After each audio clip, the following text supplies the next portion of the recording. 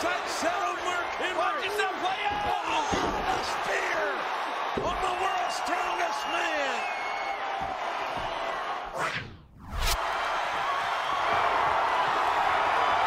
Here comes the second split. I think they can feel it.